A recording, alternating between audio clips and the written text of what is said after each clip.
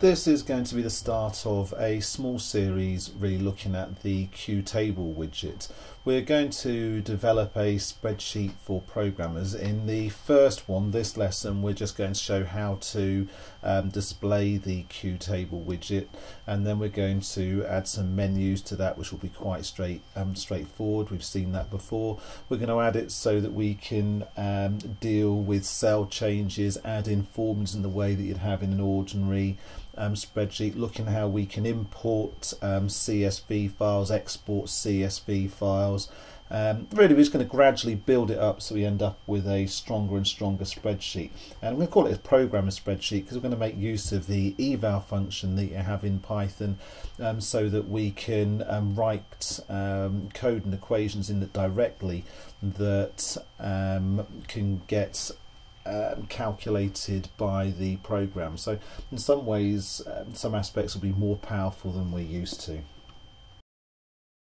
So let's start developing our programmer spreadsheet. So I've done the imports here, import sys, um, and I've imported the QTable widget, which is um, the main thing we're going to use, which is effectively a QTable view with a model built on top and then we've got Q application for doing our event loop and Q main window which is the thing I want to put the QTable widget in because I want to have access to menu bars later on. This is going to be quite a simple start. Um, we're not going to do that much. It shouldn't be too long. So um, let's do our class. I'm going to call this my um, table and that's going to be a QTable widget and within that I want to call the init function. So and the init function I, what I also want to include is the number of rows and the number of columns that um, I'm going to um, make the table. And so we want to call the init function for this one as well.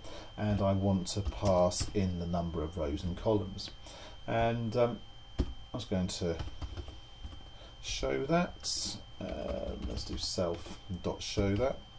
And um, we could run that um, if we wanted.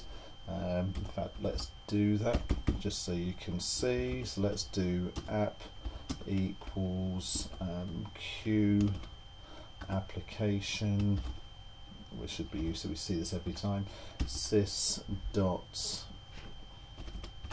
uh, so that's our event loop going and then I want to create an instance of the table. So let's just call it um, table. We're not going to use this later on. Equals a my table. And then let's make it so we can exit out of this thing. Sys dot um, exit. App dot exec. Make sure we pick the right one. And no, it just doesn't like the fact that we've got too many spaces, not the right form. Do that, and then we can run this. And oh, sorry, we didn't say how big we wanted it to be. So let's make it uh, 10 by 10. It's also said we want those. Now let's try running it. And there we go. There is our widget. But let's just make sure we put that in a window. Um, so we're almost there. I mean, this next bit is the same as we've done before. When we looked at the notepad program class sheet and that's going to be a Q main window. And then we want to initialize um, that one there. I want to call the super.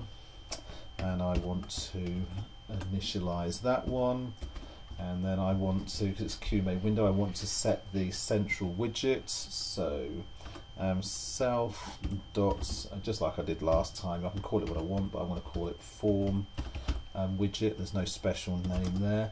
And that's going to be a my table.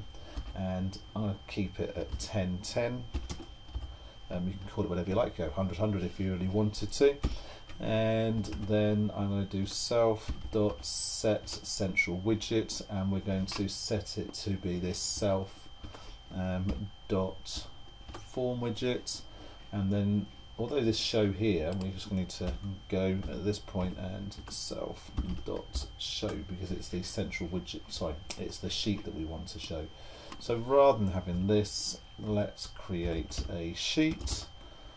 And there we, oh, gotta do that.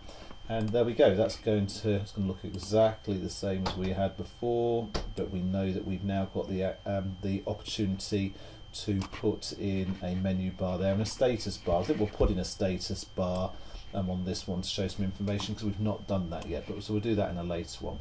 So uh, I hope you found that helpful. I hope you enjoyed the video. If you did, think about subscribing. I've included a link to the code that I've used in the video below in the description. Stay in infield with Winfield.